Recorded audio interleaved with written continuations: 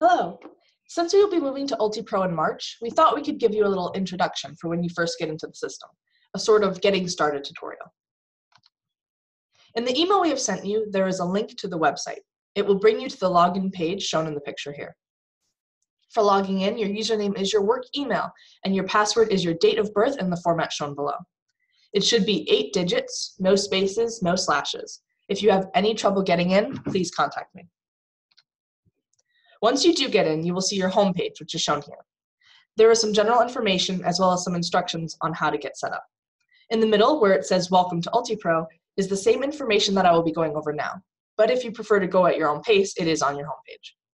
Update Your Favorites will walk you through customizing your menu for ease of navigation.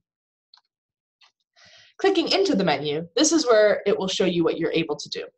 I would like to start by bringing you to the Myself tab, then under Personal, please click Name, Address, and Telephone. Here is where your personal information is. Take a moment to go over it all and make sure it is correct. If it is wrong or if there is missing information, in the upper right corner, there is a button to edit. When editing, you may notice a field that is called Preferred Name. If you prefer to go by a middle name or a nickname, you can put it here so that it will not mess up your legal name, but still let you have the name you want to go by. Your work phone and email should already be in the system, but we might not have your personal number or email. If you could, please put that in as well as we would like to have it in case of emergency. Moving to the Contacts tab, this is where all your contacts will be, emergency contacts, beneficiaries, and dependents. Make sure they are in here. If they aren't, click on the green button to add them.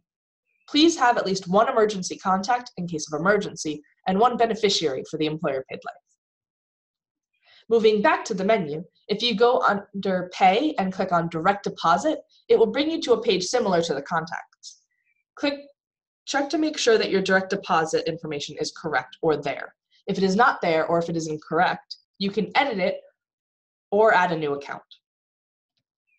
To make sure your tax withholdings are correct, you will want to go to Income Tax. You can either go through the menu as shown here, or if you are in the direct deposits page, there is a tab that says Income Tax tax right next to it. So here there should be a summary of your taxes. Please make sure all the information is correct.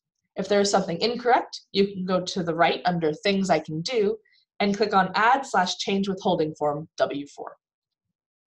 From here, you will be shown three forms. You will probably want to click on the top one, but if you would prefer to fill out the form in Spanish, that, that is the second one. This is a simple form. Just fill out the information correctly and then click Next on the upper right corner. Here it will show you what your W-4 form looks like.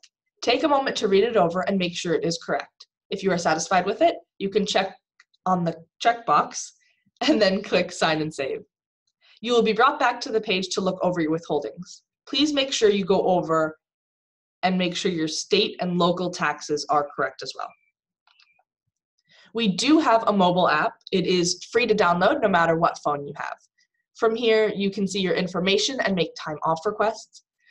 Please don't be alarmed if you go in now and see that you don't have any sick or vacation time. We are currently working on it and, it, and we'll keep you updated when it is up. And we'll have a walkthrough as well on how to make the time off requests. There is also a directory in the middle where you can search for any employee and get their email and their extension for quicker navigation. You may notice in the mobile app that there is a button for time clocking and time sheets. You can edit this to remove it as you will not have a timesheet, so you will likely only get an error message. We have decided that badge swipes will not be imported into the system, and there will be more information to come on this. This presentation is focusing on the core, but we will still have more to roll out to you as we get further into it.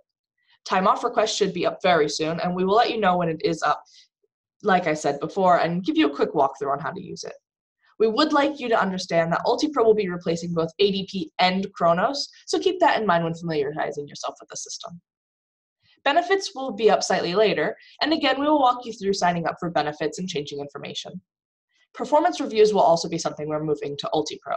It will make the whole process smoother. Please understand that since we are still working on the system, it won't be perfect right away. Don't panic if something isn't working the way it should be. Just please let us know so we are aware of the problem. Once we get all the kinks worked out, it will make our lives easier, it will make your lives easier. So I'm really excited to get you all in. So thank you for sitting through my presentation. This is just a getting you started so I understand you might have more questions. Please don't hesitate to contact us here in HR if you do. We are happy to help.